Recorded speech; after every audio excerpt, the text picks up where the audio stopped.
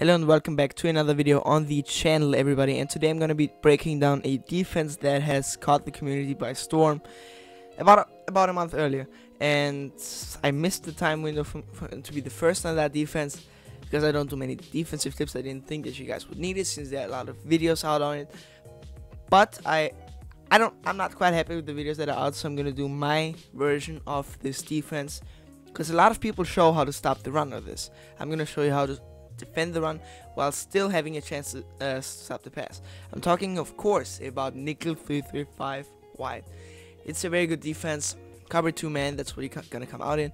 Personnel, if you really face a lot of runners and you're really afraid of runners, then make sure to have two people in here that have inside stuff right here and right here. Arik Armstead and Nick Bosa need to have inside stuff this is my lab team so I put the block shed all the way down to zero on these guys. So I'm gonna put in some other people that don't have zero block shed.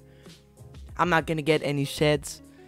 Please uh, calculate that in because yeah. In MUT uh, when you have good players there you're of course gonna get sheds. Not of course but you're very likely to get sheds. Now I'm gonna put some people in here now just so I can pass the ball a bit if I want to, or whenever I want to show you how to stop the pass out of this. Now, we're gonna start with I-Form close because I-Form close is very tough to defend. Good passes and also some very tough runs to stop. I'm gonna first show you what I do to stop the run, and then if they show me that they can pass, I'm gonna show you what I do against that. The basic run defense is press, then put your uh, safeties in QB spies. How do you do that? You press triangle twice. That brings up the um, cornerback and um, safety menu. Then you press triangle because you want to put the triangle safety in a QB spy. Then you have a lot of options. You can put him in a deep half a curl flat a hook curl and inside third man coverage inside quarter blitz a QB spy. You want to put him in a QB spy so you want to move the right stick to the left. Then he's in a QB spy. Same thing with X. Press triangle twice select X right stick to the left. Then they are in QB spies now this is gonna do a decent job against uh, the stretch. I mean, it's not blown up. We've seen or we've seen better run defenses that get bigger um, stops in the backfield. But you know, I like it. It's it's pretty it's pretty good. It stops the run on a consistent basis. Now, what's the issue with that? Um, I-Form close is very good for its passes because it can defeat that um, press style look. Basically, I think that's what they do. Um, actually no. They, they put these outside receivers on stop and goes and the issue with that is if they motion him out and I'm not gonna I'm gonna go on the D line to show that. If they motion him out and there is no coverage uh, over top there is a chance. What? I, I, I don't know. That's that's that's crazy. Um if you if actually I'm, I'm gonna show this in practice mode because this is really this is surprising um I'm gonna just look at him. Usually these uh, stop and goes, they destroy man coverage, but he kept right up with him, right up with him. That is really weird. Okay, let's try that again then.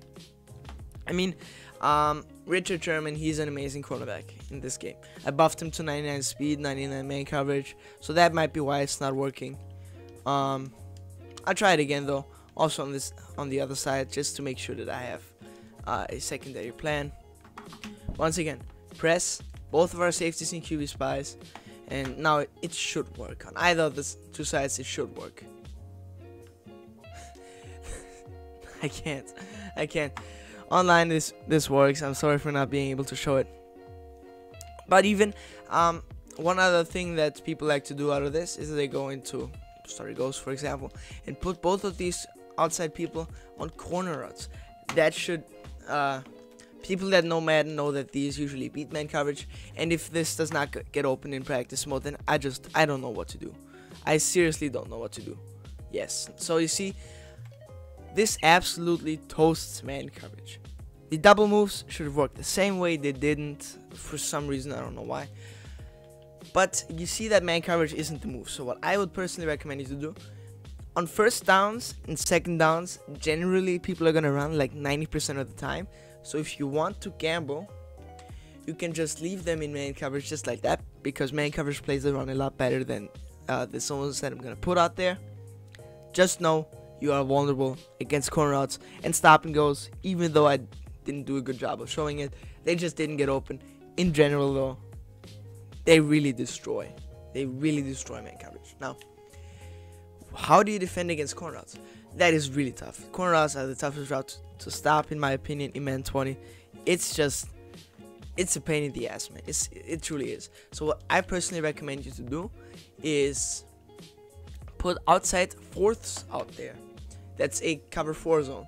Press triangle twice once again to get to the uh, cornerback and safety menu. Select, for example, for square.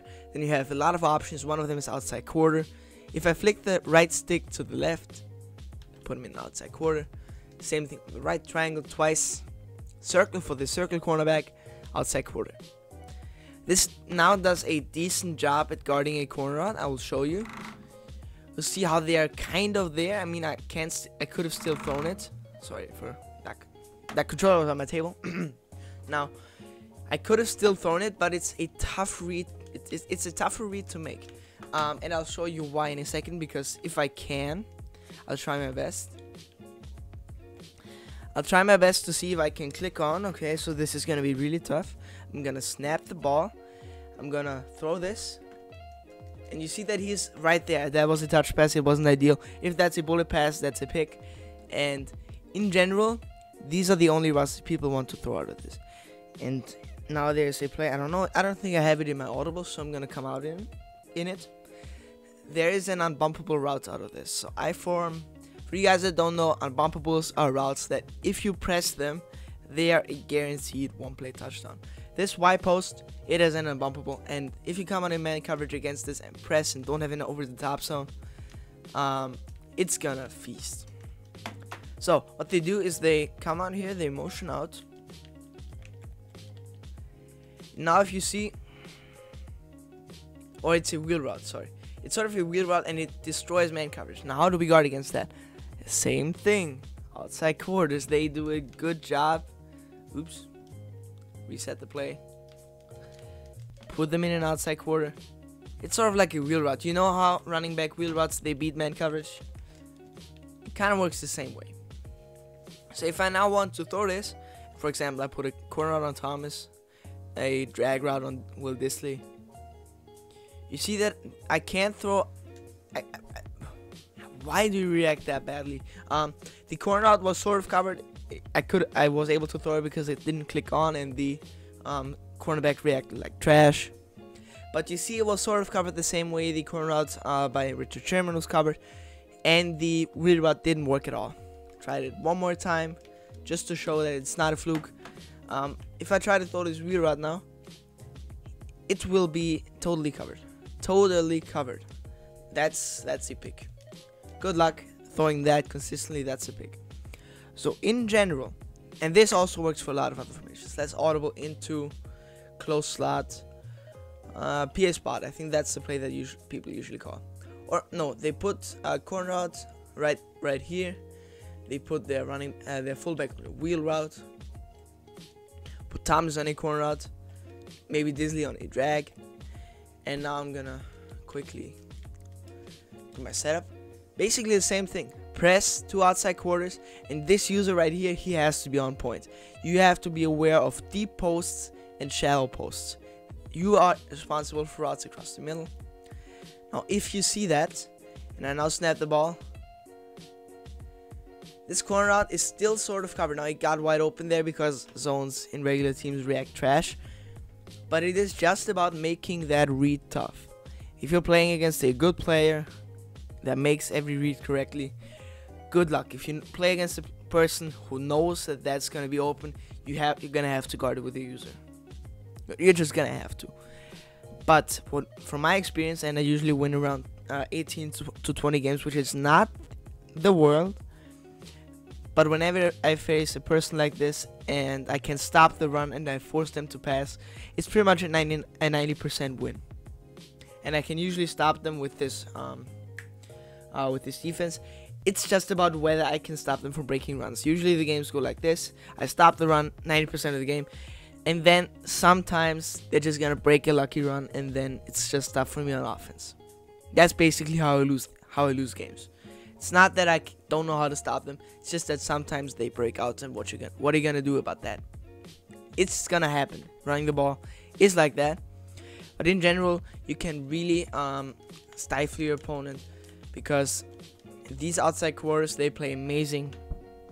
the only thing that they're kind of vulnerable vulnerable against are these are simple streaks. That's the only thing that I would recommend you to watch out for. If your opponent knows uh, how to how to defeat that, a simple streak because these quarters they drop back pretty slowly, which is why they sort of stay underneath corner us, but get beaten by streaks over top. So be aware of that.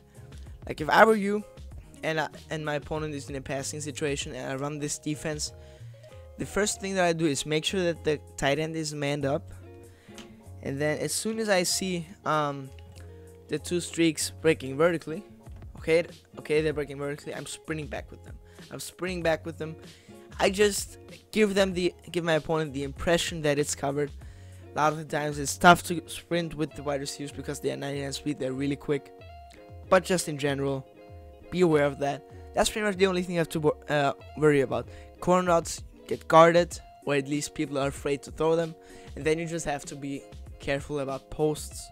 That's the only thing the user can guard, and the run is pretty much locked down. Now it's all about repetition. It really is. Try out different coverage shells. For example, if I were you, I would sorry, one controller.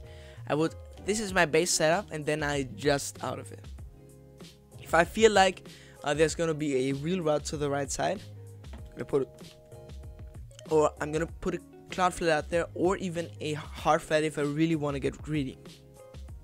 You have to adjust out of it. I'm just giving you a base shell that does well against a lot of things, but people that know what they're doing, they're gonna adjust and they're gonna see what you're doing and they're gonna attack that. So if I were you, I would always be ready to adjust and put zones that they don't expect. This hook right here, it's gonna it's gonna sort of match uh, that running back right there, and that's that might be an outlet for them to throw. I don't know. I don't run this scheme a lot. I just face it, and that's how I usually do it. I have a base shell, and then I adjust of it. In general, you want to have the tight end manned up because tight ends are not that quick. They they can be guarded by man coverage uh, pretty pretty decently, I'd say. So always have the tight end manned up, and then put a flat route out there um, sort of muddy up the read. And then obviously bait with the user. It's really tough to use all these things that they might throw, but just just move around with you. It'll Be unpredictable. You want to give your rush a chance to get there. Just make the read tough, make them hold on to the ball just that second longer, and you might get a shed. And if you force a runner to pass and then he gets sacked, he might be in a third and 17 he's not gonna know what to do. In a third and 17, for example, and you are afraid of corner routes, uh, press, put your safeties in QB spies, put the outside cornerbacks in soft squats, which is triangle twice, then select the cornerback, left stick to the right soft squat, same with the other uh, cornerback, and then shade up, which is triangle right stick up, triangle right stick up, and then triangle L1 to play the sticks. Now, this is a first and 10. In practice mode, it's almost uh, a first and 10. So this probably isn't to work, but a third and 17, these zones, they're to drop back right to that first down marker. And if you want to throw an out route that's going to the first down marker, we want to throw a corner route, this is to get guarded. Now let's see if it's to get guarded here. not really, not really. But just trust me, third and 17, you people that play Madden a lot, know that this works this year. Make sure to protect the sticks. They're not gonna be able to throw corner routes.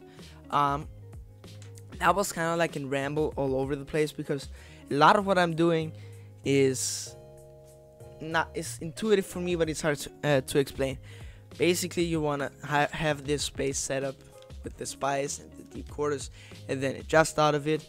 In general, leave the tight end man up, force the tight end to beat the man coverage force your opponent to think that he's that he has to put on a corner route. If he does that, then he can't run a corner route from the wide receiver, which is tough to stop. because then the corner routes from the wide receiver and the tight end would be in the same place, and you don't want to have a wide receiver running a corner route. You want to have a flat, fat, slow tight end running that corner route.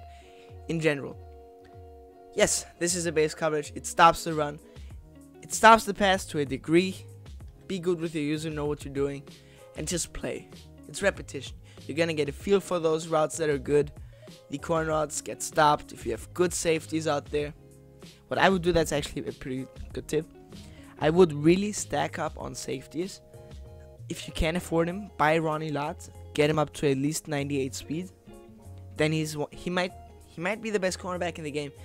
You maybe not because he only has 98 speed, but if you have um, if you can get him up to 99 speed with the team chemistry, he's the best cornerback in the game. Put acrobat acrobat in there, universal coverage. He's gonna pick every corner out for you. I promise. He's gonna pick every single corner out, and he's also gonna stop the run because he obviously is a safety. Put in safeties at the cornerback spot if you're facing a runner. That is my biggest tip for you guys. Um, if you want me to do a video on how to stop some meta formations like gun bunch, um, near close flex, let me know. Obviously, I'm gonna do that. If you guys need some help with that, I feel like I'm pretty good against meta formations. It's just whether people are gonna get lucky. If people break runs on me, even though I usually stop them, um, yeah, so be it. I, that's pretty much the only way I lose games. I know what to do against everything. Sometimes he just pops a run and that's it, or he keeps popping runs. Um, yeah, that's all I have to say. I hope you enjoyed the video. I hope, I hope this is gonna help you guys. I know it's pretty late in the Madden season. I'm I just still want to do some videos and see if some can pop. See you in the next video. Goodbye. Bye. Appreciate you checking out. Subscribe. Yeah, I, I just said goodbye twice. Goodbye.